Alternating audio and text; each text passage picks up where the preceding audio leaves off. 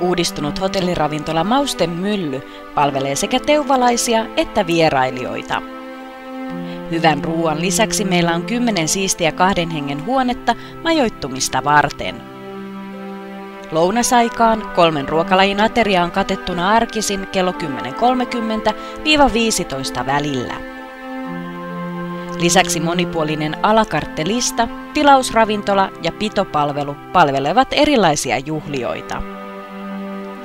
Meillä onnistuu häät, syntymäpäivät ja muistotilaisuudet arvokkaasti juuri haluamallasi tavalla. Haluamme palvella mahdollisimman hyvin, joten viikonloppuisin A-oikeuksin varustettu ravintolamme muuntuu paikalliseksi menomestaksi. Kesäisin asiakkaamme voivat lisäksi nauttia vilvoittavasta ja viihtyisästä terassista. Tervetuloa viihtymään!